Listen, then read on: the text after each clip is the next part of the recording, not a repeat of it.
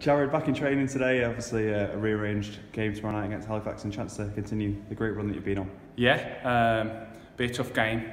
Halifax are a decent team, well organised and stuff, so be a tough game tomorrow night, and it'll no doubt be cold up there. Obviously, you wanted to, to get the game on Saturday, but you go again tomorrow night. Yeah, it's another fixture that makes a few more over Christmas, I suppose. Um, so I was a little bit gutted that the game was called off Saturday, but um, it's the industry we're in.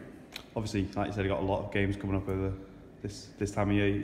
As players, you want them, don't you? You want to be playing games. Yeah, of course, especially the run that we're on as well. Um, just keep it, keep the momentum going, and uh, let's hope we can start by winning tomorrow night. Yeah, the mood in the in the camp must be must be brilliant in a minute. Yeah, of course. Um, we had our Christmas do last weekend, and everyone turned up, so it was great atmosphere and that, and um, I think you can see that on the pitch as well that the, the players are all playing for each other. Must be great to obviously you, you all come together from from all loads of different clubs in the summer, and you've gelled so quickly.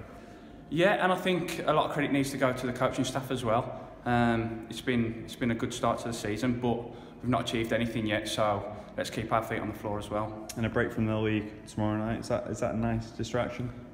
Um, I don't think it makes too much difference really, especially when you've got momentum. You just want to keep playing games and hopefully winning games. Um, so it makes no difference really. It's just another game of football that we need to go out and win. And there's a nice prize, obviously, for getting uh, for success in the FA Trophy. Yeah, the club did great last season. Um, if we could equal that and go one step further, then that'd be that'd be perfect. But um, we've got to get past Halifax first. And Halifax is a side that you're going to be seeing quite a lot of over the next few weeks. Yeah, so we'll have to feel them out, um, see what they what they bring to the table and that, and um, it should be a good test over the Christmas.